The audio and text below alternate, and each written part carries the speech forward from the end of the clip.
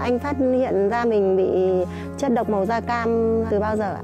từ lúc sinh ra Thế anh à, Đông bây giờ được mấy cháu ạ? em được hai cháu ạ Vâng. Vâng, chẳng mẹ nó sinh ra mẹ nó bỏ đi từ lúc nó còn nhỏ lúc nó học mẫu giáo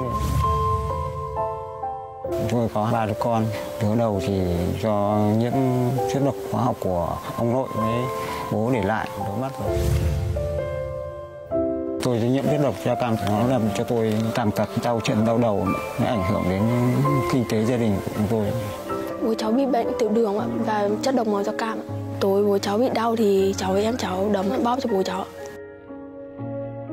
Hồi cháu mới học lớp 6 thì có nhiều bạn hay trêu mày đi học sao chẳng ai đi cùng.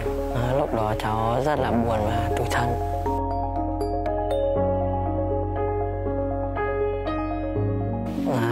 Lúc mẹ cháu để cháu ra đến bây giờ thì cháu vẫn chưa được nhìn thấy mặt mẹ cháu ạ.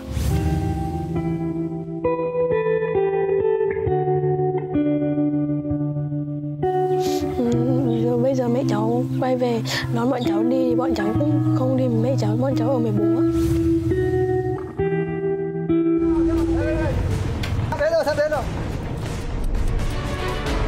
Trời ơi, vui quá, vui quá. Dạ.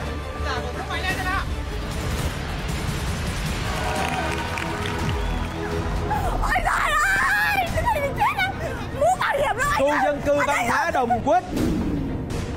Em đi nó mất Ngon không chú? Yeah.